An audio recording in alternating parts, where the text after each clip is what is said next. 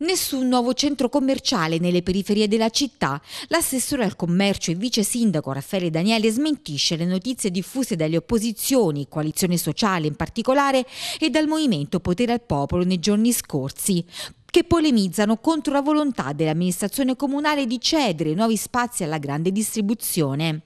Prevede invece un polo fieristico al progetto Case di Bazzano, uno industriale a Monticchio, una zona commerciale tra Pile e Sassa, un'area dedicata alla media distribuzione nelle immediate periferie cittadine e infine il centro storico in cui incentivare le piccole botteghe alimentari artigianali di prossimità.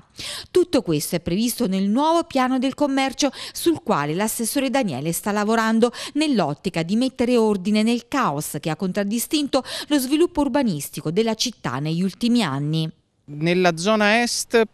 prevedo io uno sviluppo di tipo industriale, vista la vicinanza con il casello dell'Aquila Est e vista tutta la rete infrastrutturale che è stata creata negli ultimi periodi, negli ultimi anni. Lì anche nel progetto Case di Bazzano eh, credo che si possa pensare un polo fieristico, proprio vista la vicinanza con l'autostrada e con eh, la superstrada che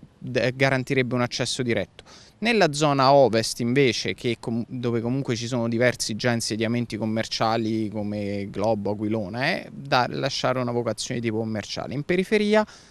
io non, non, vedo la possibilità di creare nuovi centri commerciali, ma al massimo una media distribuzione come supermercati o magazzini questi, insomma. Abbiamo fatto uno studio e nel centro Italia praticamente ce n'è uno in Umbria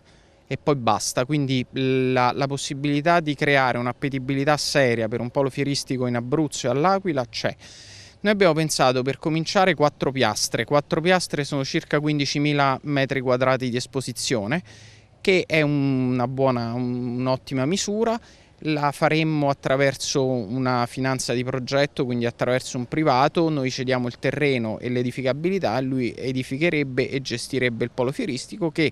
potrebbe mantenersi da solo, pensiamo ad esempio alla fiera per la ricostruzione, mobile antico, fiori, giornalismo, fumetto,